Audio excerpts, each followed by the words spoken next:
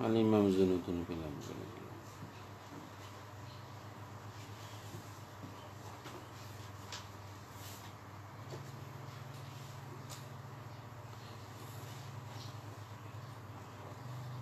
Tamul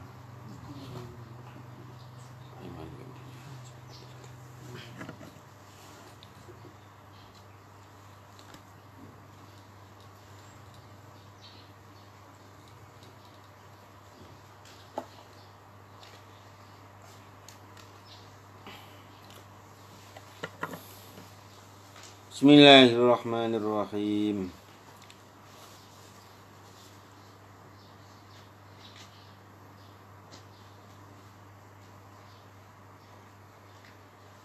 Wa kharaja lan wis ngetake hadis sapa Adailami Imam Dailami. Wa kharaja lan wis ngetake hadis sapa Akhraja lan wis ngetake riwayat hadis sapa Dailami Imam Dailami. An Aisyah sanging Dewi Aisyah. Dewi Aisyah radhiyallahu anha.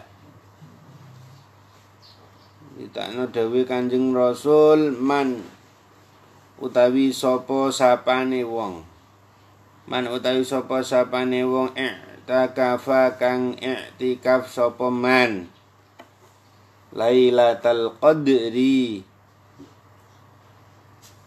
bisa menangi Lailatul Qadar. Imanan halih ngimanake wahtisaban lan gawe krana Allah. Gufira mongko den sepura. Lahu kadwini man. Apa ma dosa taqaddama? Kang wis dingin apa ma? Min dzambihi saking dosane man jadi barang siapa i'tikaf bisa bertemu dengan Lailatul Qadar ya. Masya Allah ya dengan rasa iman, rasa hanya mencari ridho Allah ya. Makanya kalau kita terawih ya bukan karena yang lain-lain. Wah, wah terawih di masjid sana banyak anak mudanya, yang laki ganteng-ganteng, yang perempuan cantik-cantik. Ya nggak bisa ketemu Lailatul Qadar. Walaupun ketemu tapi bukan iman wah disaban ya. Terawih di sana ah. habis terawih itu dapat kopi dapat roti makan lagi. Jadi terawihnya karena selain Allah. Ya enggak enggak ghufirallahu ma taqaddama min gitu gitu jadi benar-benar lah makanya itu kita mengenang jasanya Khulafaur Rasidin itu karena apa? Karena sebab beliau itulah Dulu zaman Nabi itu sholat malam di bulan Ramadan itu belum ada namanya taraweh. Ya. Setelah zaman Khalifah, Sayyidina Abu Bakar wa Sayyidina Umar wa Sayyidina Utsman wa Sayyidina Ali itu. Baru nanti taraweh itu berjamaah. Dulu zaman Nabi sendiri-sendiri itu. Makanya kita ini diajari ya, nenek moyang kita yang bersanad sampai Nabi itu kita me, apa mengabadikan ya jasa daripada apa para khulafaur rasyidin dengan mengucapkan apa al khalifatul ula amirul mu'minin sayyiduna Abu Bakar Siddiq Sayyiduna Umar ibn Khattab ya Sayyiduna Utsman ibn Affan Sayyiduna Ali bin Abi Thalib nah, itu. Nah, itu, itu. Sebab itu, sebab jasa mereka kita bisa ngelakoni sholat tarawih setelah berjamaah. Nah, supaya apa tujuannya? Supaya kita bisa bertemu dengan Lailatul Qadar, tapi syaratnya iman wa ihtisaban. Ngono nggih. Ibnu Majah lan cerita sapa Imam Ibnu Majah wal Baihaqi lan Imam Baihaqi an Ibni Abbasin sayang sahabat Ibni Abbas. Al mu'takifu ta wong kang iktikaf iku yu'kifu iku yu'kifu nyegah sapa? Mu'takif. Adzunuba ing sekai dosa. Wa yujzalan den ganjar sapa mu'takif minal ajri saking ganjaran. Ka ajri amilil hasanati. Kaya ganjarane wong kang nglakoni kebagusan. Kaya kaya ganjarane wong kang nglakoni kebagusan pira-pira kebagusan kullaha. Ya sekabehane hasanat. Jadi barang siapa masuk masjid di bulan Ramadan ya entah malamnya entah siangnya duduk di masjid nawaitul i'tikafa fi hadzal masjid. Lillahi ta'ala. Ini ya saya niat itikaf selama saya ada di masjid ini. Jadi kalau masuk masjid dek mulutnya dikunci. Ya jangan ngomong jangan apa lebih baik kamu diem itu ibadah. Nah itu ngomong dulu masjid malah cerita A B C D Z ah macam-macam eh masuk masjid langsung saya niat etikaf selama saya ada di masjid ini. Walaupun kamu lima menit walaupun kamu 10 menit dapat pahala. Ini deh orang malah cerita HP cerita apa ngono. Oh itu saya niat etikaf selama ada di masjid ini. Jadi kamu masuk belum langsung niat udah dihitung ibadah you know. Itu karena Allah taala. Lah iku. Hmm. Wa syekhan wa Imam Bukhari Muslim an Aisyah ta Dewi Aisyah radhiyallahu anha qalat ngendika sapa Dewi Aisyah karena ana sapa Kanjeng Rasulullah sallallahu alaihi wasallam? Iku ya atakifu i'tikaf sapa Kanjeng Nabi Iku ayati iku yang tak kiwe tikap sapa kanjeng Nabi ala syara ing 10 dino al awakhir kang pira-pira akhir. Min ramadhana sanging wulan sanging wulan Ramadan hatta tawafa sehingga mundut ku ing Kanjeng Nabi. Sapa Allah Gusti Allah Suma itikaf mongko nuli nusuli iktikaf sapa azwaju pira-pira garwane Kanjeng Nabi mimpi sange sawuse Kanjeng Nabi min badi saya sawusi kanjeng Nabi. Jadi kanjeng Nabi itu kalau Ramadan di akhir Ramadan menyibukkan dirinya berada di masjid. Kemudian dongo, muka-muka rumah kita, keluarga kita itu selalu berada di dekat masjid. Selalu berada di tempat sujudnya Allah. Ya kalau enggak, ya kamu Muga-muga didadekno dadi kiai ini masjid ngono. Nah, santri-santri. Keluarga ini di dekat tempat sholat berjamaah. Nah, masjid ada ya musola, langgar gitu Wal Baihaqi lan wa cerita sapa Imam Baihaqi an Hasani sanging Sayyidina Hasan ibni Ali ibni Ali kang dadi putra jarni Khalifah Ali radhiyallahu anhuma. Radhiya muga-muga ngritani sapa Allah Gusti Allah anhuma maring Sayyidina Hasan lan Sayyidina Ali. Sayyidina Hasan wa Sayyidina Ali Nyeritaan dhewe Kanjeng Nabi man utawi sapa sapane wong i'tikaf kang i'tikaf sapa man asyran ing tanggal 10 Barang siapa yang beriktikaf di tanggal 10 ya. Fi Ramadan itu. Karena mongko ana sapa man iku ka hijjataini kaya haji loro wa umrataini lan kaya umrah loro. Makanya kalau bareng siapa bisa beretikap di tanggal 10 itu pahalanya Masya Allah gitu. Mulane masjid itu ya ya tempat haji, tempat umrah. Umrahnya siapa? Ya orang yang belum mampu ke tanah Mekah itu. Makanya umpamanya ada orang kok meninggal belum ke tanah Mekah ya mungkin hajinya ya di masjid dekat-dekat rumahnya. Karena apa? Karena belum diberikan kemampuan oleh Allah. Jangan menghina kowe ora kaji le urung kaji kowe nah, wong biasa aku ki lho wis nemu balik ya belum tentu. Kadang orang fakir orang miskin yang benar-benar ikhlas dia selalu tergantung hatinya di masjid itulah orang yang dapat pahala hijjataini wa umrataini dapat pahala haji dua haji yang mabrur dua umrah yang mabrur walaupun belum pernah dirinya kulitnya menginjak tanah Makkah tapi hajinya sudah mabrur umrohnya sudah mabrur udah Makanya jangan orang itu jangan sombong. Dia haji belasan kali, ya, um, umroh belasan ah, berapa kali. Itu. Belum tentu umroh kamu walaupun kamu benar-benar sudah menginjak tanah Mekah terus di Mabrur, belum tentu ada orang yang belum pernah ke sana tapi sudah dapat pahala dua haji karena berpuasa di tanggal 10 bulan Ramadan. Etikaf. Orang ini etikaf ya orang ini etikaf di tanggal 10 bulan Ramadan eling-eling ya.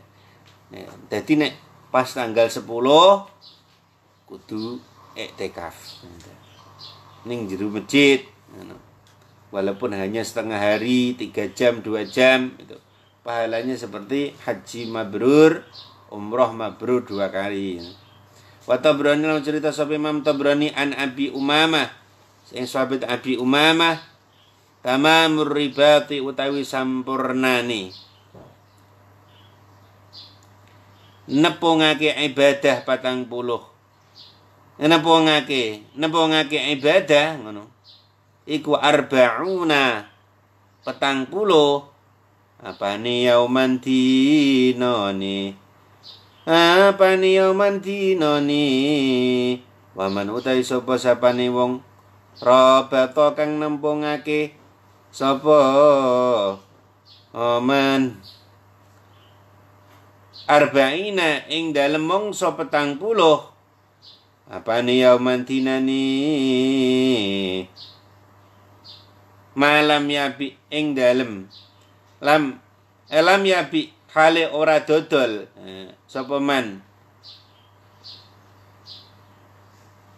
walam yastar lan ora tuku sapa man Malam yahdas lan ora omong-omongan sapa man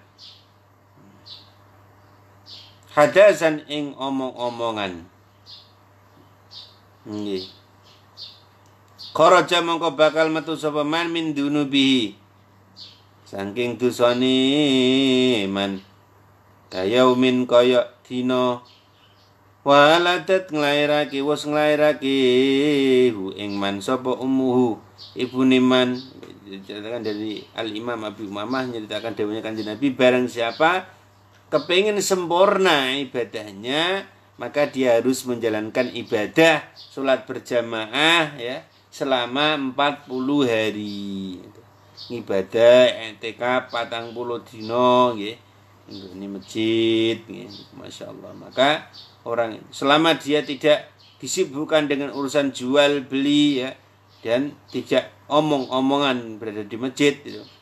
maka orang ini akan dibersihkan dirinya disucikan dirinya ya dia akan suci ketika sudah selesai 40 hari maka dia akan lahir itu dia seperti bayi yang bayi dilahirkan oleh ibunya. Wa kharajana was ngetake sapa Ibnu Majah? Imam Ibnu Majah. An Abi Umamah ta sang Abi Umamah nyeritakake dewi dewi Kanjeng Nabi Muhammad SAW man utawi sapa sapane wong ku qoma jumenengi sapa man lailatayil idi ing wengi lorone id muhtasiban halih gawi krana Allah. Utawa nggih. Lillahi ke krana gawi ibadah lillahi krana Allah. Lam tamut mengko ora bakal mati. Apa qalbuhu? Atine man. Yauma tamutu ing dalem. Dinane mati apa alqulubu pira-pira ati? Barang siapa menghidupkan malam dua malam Id Idul Fitri Idul Adha itu ya dihidupkan dengan bacaan bacaan takbir ya. Allahu akbar Allahu akbar Allahu akbar. La ilaha illallah Allahu akbar. Allahu akbar walillahil hamd. Itu. Ngono maca. Cah nom-nom ngene iki santri-santri santriwati santri putih itu lanang wedok melek aja turu. Malam riyo dedet. Ora malah sing takbiran iki kasete. Tipe MP3 ne ya memorine. Eh, sing cah lanang-lanang do montor-montoran ngalor ngidul ngetan ngulon. Bunceng no mbuh sapa sing ora halal kanggo dheweke nggih. Lah piye ngene. Jadi kalau kita menghidupkan malam-malam Idul Adha dan Idul Fitri, maka dengan takbir, maka kita nanti kelak hati kita akan dijaga oleh Allah, terus dihidupkan oleh Allah ketika hati manusia pada mati. Ibnu Asakir lalu cerita sahabat Imam Ibnu Asakir an Muad sang sahabat Muad bin Jabal mana utahe sapa sapane wae ku akhya ngurip-ngurip sapa man Al-layaliya ing pira-pira wengi al-arba'a kang papat wajabat mongko wajib lahu kedune man apa al jannatu swarga Barang siapa di malam empat bisa jaga malam empat empat malam yang dahsyat, yang penuh berkah ya. Maka dia berhak mendapatkan surga. Apa empat malam itu? Lai Lailatat tarwiyati rupani siji papat mau wengi ne tarwiyah dina tarwiyah. Nah, itu malam tanggal delapan. Malam tanggal 8 di bulan Dhul Hijjah. Nah, cara wong Jawa wulan besar, nggih. Aja turu, sesuk poso bengine melekan, nggih, ngono. Nomor dua, walailata arafata lan rupane meneh wengine dina Arafah. Besok mau puasa Arafah malamnya jangan tidur ya. Siangnya tidur nggak apa-apa, malamnya jangan tidur. Dikir dikir dikir wah mencapai dikir. Yang ngobrol boleh tapi yang baik-baik. Walailatan nakhri lan wengine dina korban ya. Walailatal fitri lan wengine idul fitri ya barang siapa bisa jaga empat malam ini malam tarwiyah malam arafah malam idul adha dan yang terakhir malam idul fitri maka wajibat lahul jannah maka dia berhak atas surganya Allah Subhanahu wa taala. Lebokna surgane Gusti Allah.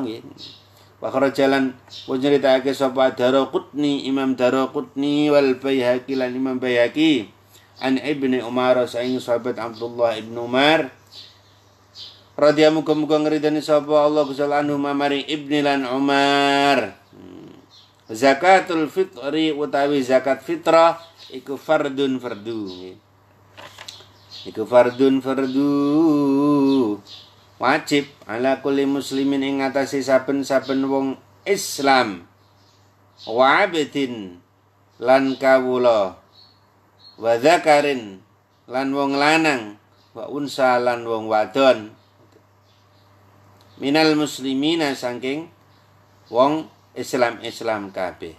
Iku sa'un sa' sa' min tamrin saking kormo au sa'in au sa'in utawa sa' sa' min syairin sanging beras. Ya, jadi zakat fitrah itu wajib ya itu wajib bagi orang-orang setiap orang Islam ya. Orang Islam laki-laki perempuan ya, itu. Semuanya yang masih kecil ataupun bayi baru lahir kok sudah lahir Eh, sebelum apa?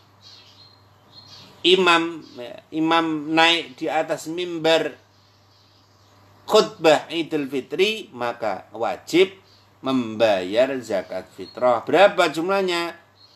Satu sok. Satu sok itu berapa? ya satu gantang gitu.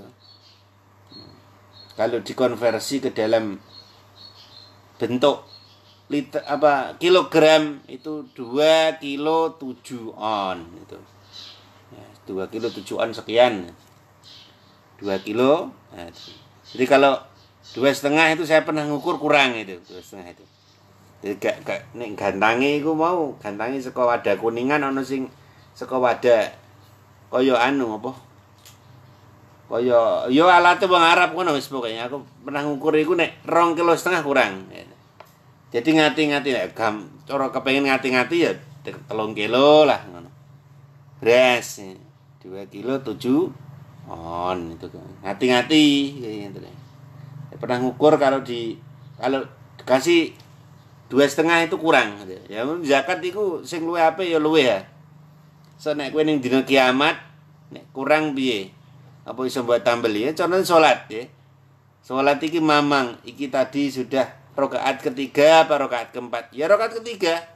Lu andai kata itu sudah rokaat rokaat keempat bagaimana? Ya mungkin itu lebihnya adalah tafadul lebihan yang memang dikasihkan oleh Allah nanti kelak di akhirat. Nah, tapi kalau kamu yakin wah iki papat padahal lagi telu lah kok ning dina kiamat kamu golekno tampil piye ya lah gini mboten lu sholatmu kurang Riyen kula pun yakin papat tok malaikat, yo gak iso to. Wong asine telu, apa mbok golekno tampil sapa? Ning kene. Sebab kelak di yaumil akhirat sudah tidak ada lagi sholat.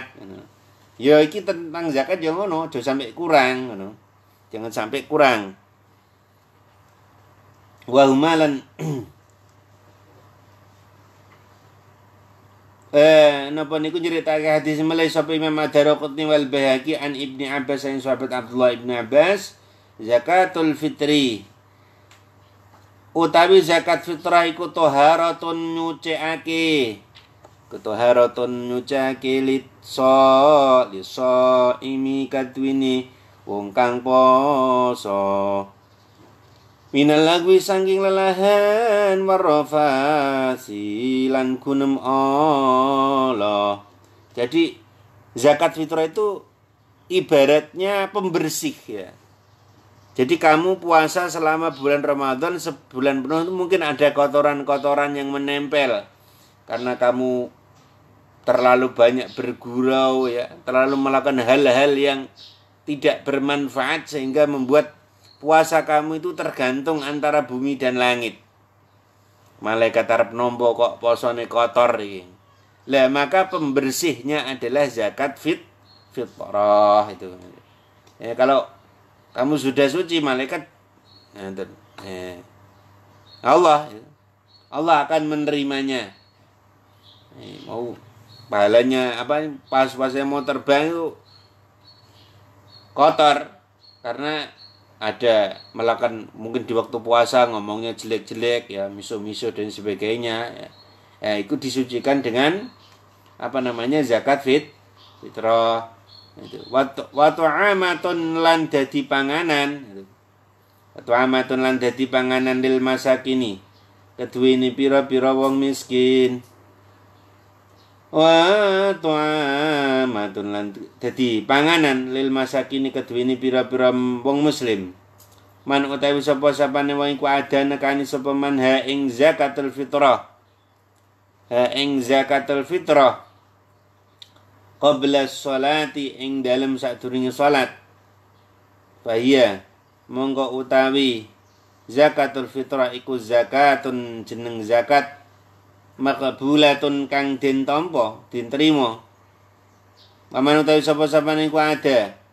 Maksudnya salat Idul Fitri ngono lho. Paman utawi sapa-sapa niku iku ada bayar sapa man ing zakatul fitrah ba'da salat ing dalam sawuse salat Idul Fitri.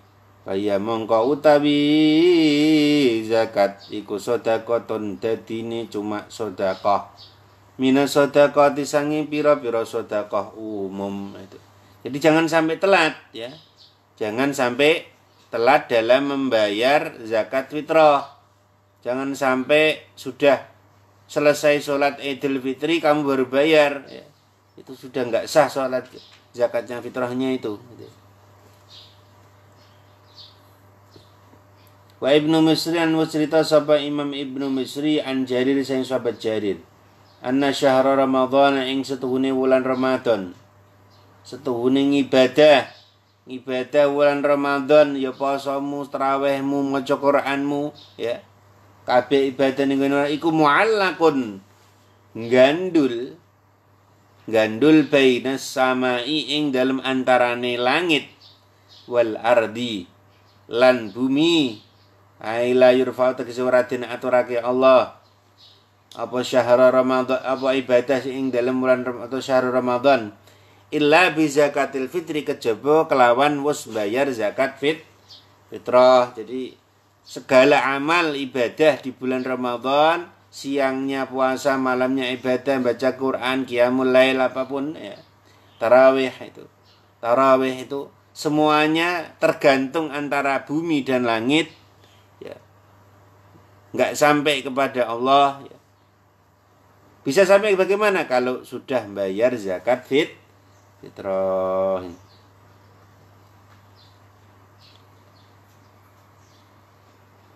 Ikhwanihi konco-konco ingsun. Made wis liwat apa syahrul Ramadhan bulan Ramadan. Wa syaidalan naksani. Apa Ramadan? Alal musi ing atase wong kang gawe Allah bil isaati kelawan.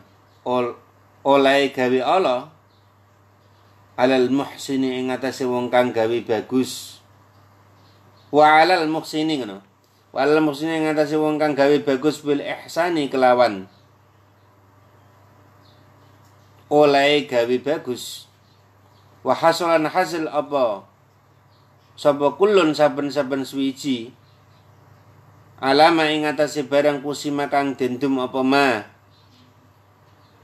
Lahu maring kulun minar ribhin mir ribhin sangi badi wa khusranin lan tuna. Faya hasratal faya hasrata hi.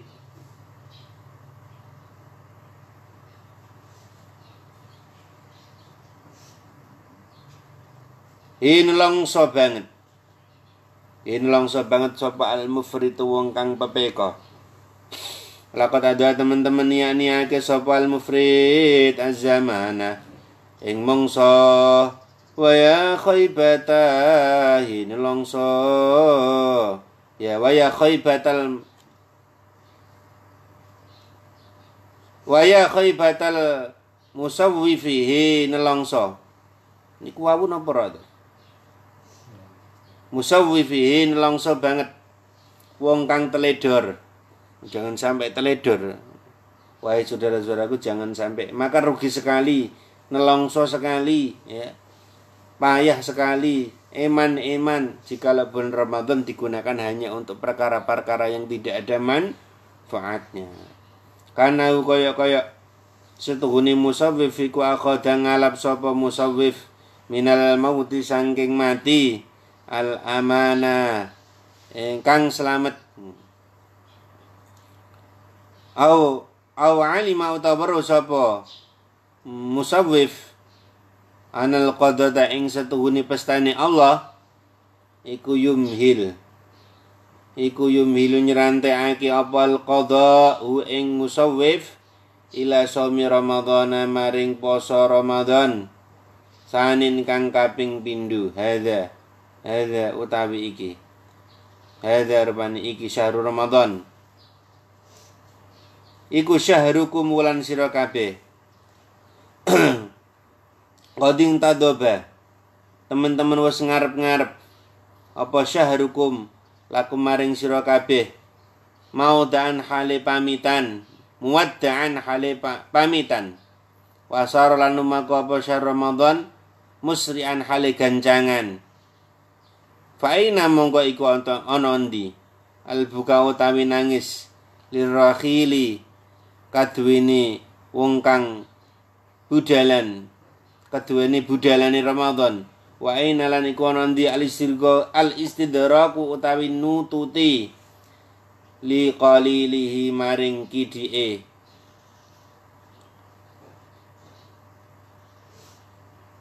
Maring kidike amal maring kidi amal musawwif ngoten wa ina lan iku ana di alik tidak utawi manut. Alik tidak utawi manut. Bi fi'lil khairi kelawan agawe agawe apik.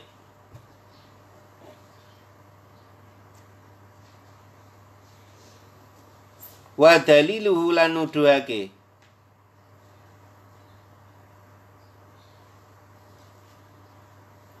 wa daliluhu lan nuduhake ni musawwif. Walillahi mongko tetep kadune kaduwene Allah. Ma utai perkara kana kang ana apa ma? Iku aja buluwe bagus sapa zamanu zamane mah min saumin sanging poso wasahrin wasahrin lan melek. Wama lan wama utai barang ka wa kana kang ana apa ma? Iku asfa luwih mbresehake apa ma? Au qatau ing pira-pira wektune. Au qatau ing pira-pira wektune.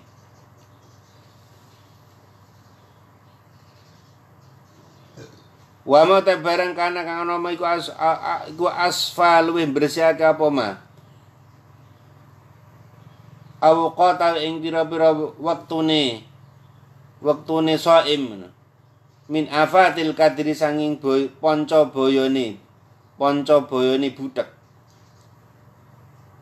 ya yeah, bener musawif nih musawif wa mau tai barang kana kang ana apa mah iku aladun.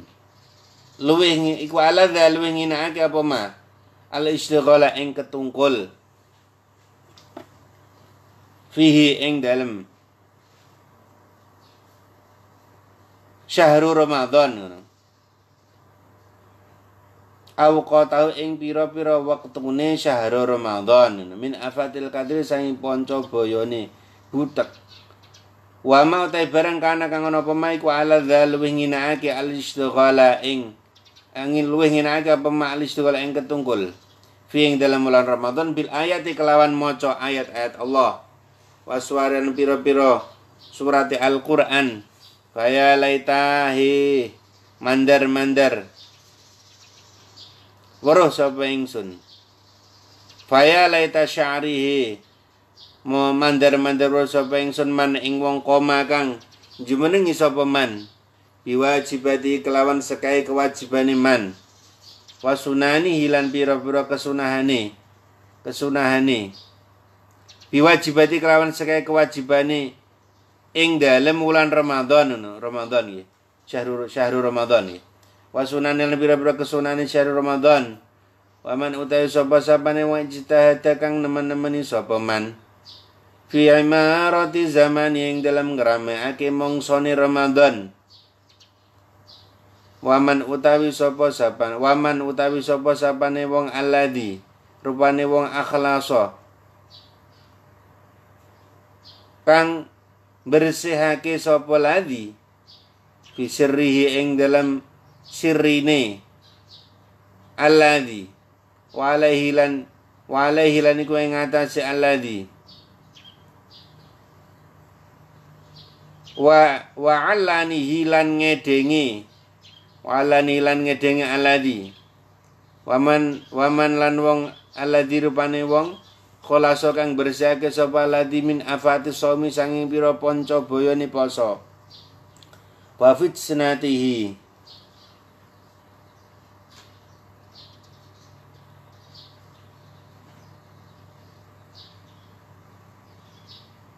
lan fitnah Ramadan itu. Rozaka mongko muga-muga ngrezekeni nak ing kita sapa Allah Gusti Allah taala. Jadi maka ini diingatkan oleh Imam Zainuddin bin Abdul Aziz kita semua jangan sampai ya.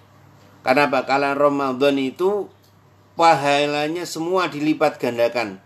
Mulai 1, 10 sampai 100 sampai 1000.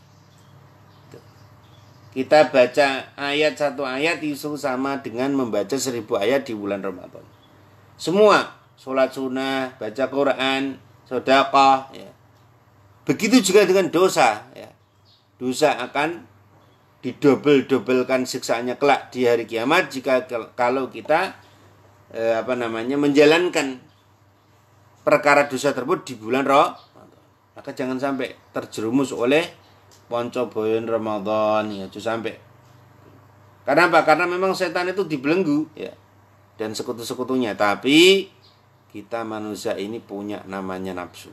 Ada nafsu amarah nafsu kejahatan dan sebagainya emosi dan sebagainya. Maka kita jaga jangan sampai puasa kita hancur sampai bahkan sampai ada orang yang melakukan dosa-dosa ini. Makanya kita minta pada Allah supaya kita ini diberikan rezeki oleh Allah bisa bertemu dengan bulan Ramadan dengan menjalankan eh, Allah taala Allah taala imtital al fadaili ing anut pira-pira kautamaan Allah ya wa ijtina biradzaili lan ngedoi pira-pira kealanan itu.